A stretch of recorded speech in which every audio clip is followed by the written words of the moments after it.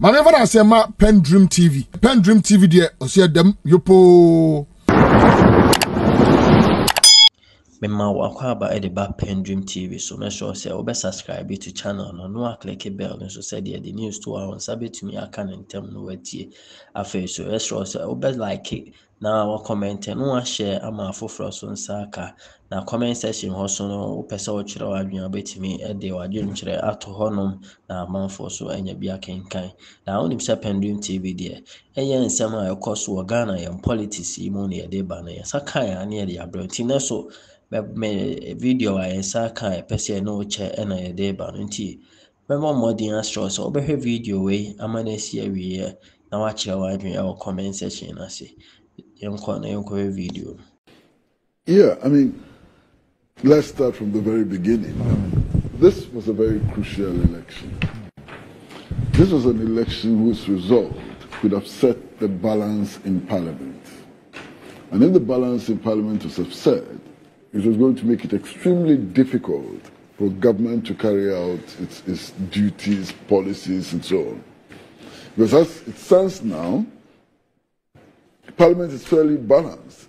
The majority has 137 seats, and the so-called minority also has 137 seats. And this could have upset that balance completely. So it was a very crucial election by all means. And I'm not surprised that so much attention was paid to this particular election. In fact, this election perhaps was far more crucial than the Asin North election, given the fact that uh, the previous member of parliament was a government or NPP member of parliament. You know, so that's the context within which we should be looking at this election. Now, the results indicate that uh, the NPP candidate won the election. But the results must still be very troubling for the new patriotic party. We have seven months to a major election.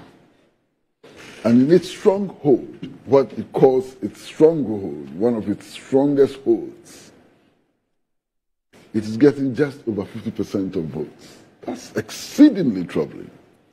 Considering the fact that in the last parliamentary elections, the party had about 80% of total votes.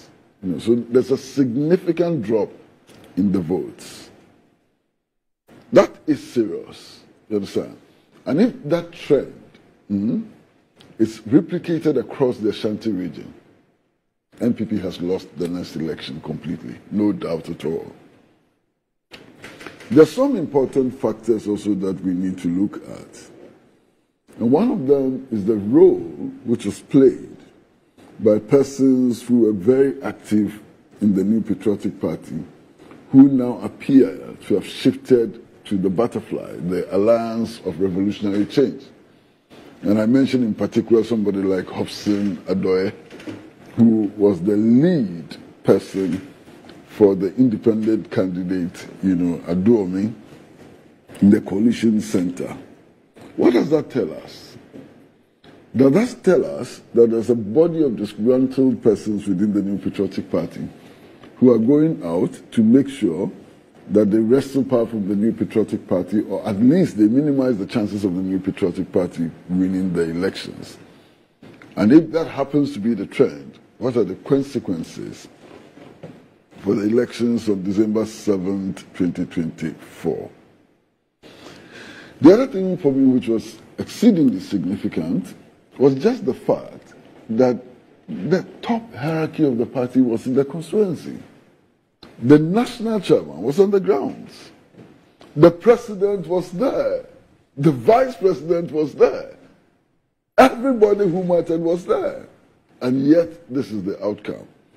Something is happening, and it's important that political watchers especially the New Patriotic Party, take note of this significant, you know, developments. And I was most disappointed in the statement made by His Excellency the President at one of the campaign rallies. I was so horrified by that statement.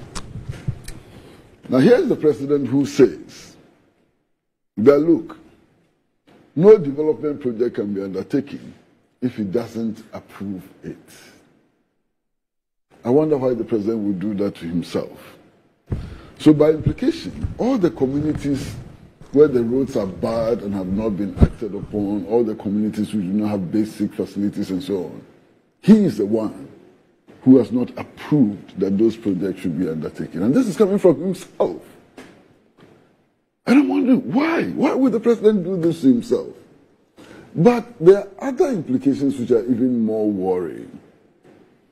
Here is the president describing himself, not somebody describing, no, the president himself describes himself as an NPP president.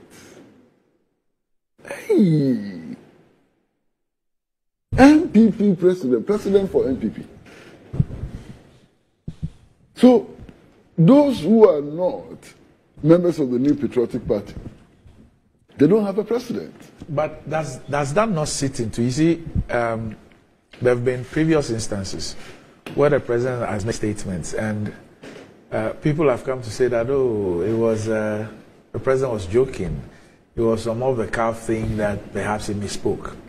But from what you're saying, the analysis you're making, I mean, there obviously is a certain trend. So, what are the two other examples? What he said when he visited the um, flooded area, and then what he said when he met the Ekumfi chiefs. I mean, that clearly sits into. So, it's, it's no longer a one off thing. Yeah. But that's the point I'm making. Yeah. It's no longer a one off So you have a president uh, who does not see himself as president of Ghana. He sees himself as president only for the NPP. And, and it's frightening. But it doesn't end there. He says, look, if you have problems, you know, if you have, if your constituency is underdeveloped, if your area is underdeveloped, if you don't have roads and so on, and you want action to be taken, you have to realize that action can only be taken if you have an NPP member of parliament who comes to speak to an NPP president. Wow. I think this is the greatest devaluation of the presidency. And I'm, I'm really shocked and surprised that these statements came from the mouth of His Excellency Nana Addo Dankwa Akufo-Addo, who has been in the political game long enough, hmm, at least to realize how damaging this statement can be to himself and to the New Patriotic Party.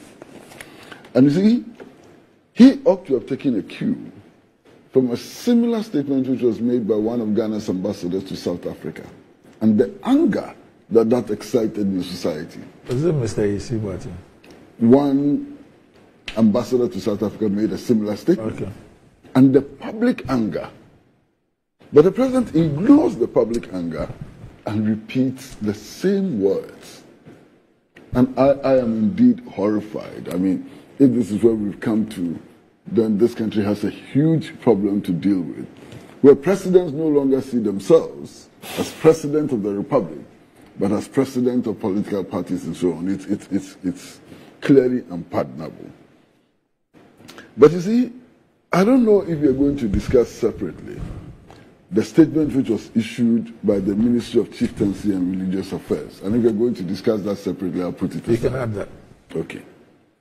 But here is the Ministry of Chieftaincy and Religious Affairs, which says that it is clarifying the tradition of respect for authority and so on, and makes the point that because the president, according to the statement, because the president is, is, is, is, it says the president shall take precedence over all other persons in Ghana, and so. Unfortunately, the president does not see himself as such. He's an NPP president. So if you're a CPP man, he's not your president.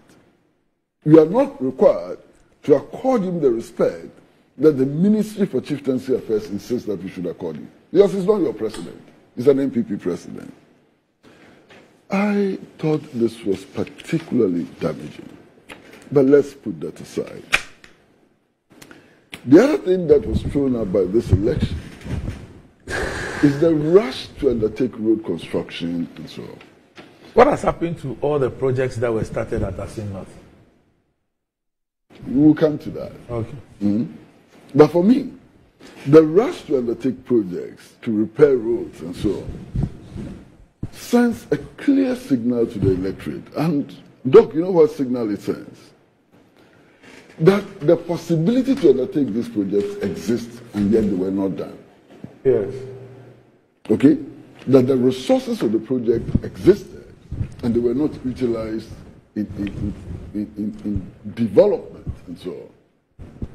Now, the electorate will be angry, they will be annoyed by this insult to them. And yet the politicians cannot read this. So they rush to undertake road construction and do all manner of things and so on in order to confirm that they had been negligent in the performance of their duties and so on. And hey, this is what the politicians want to do and so on.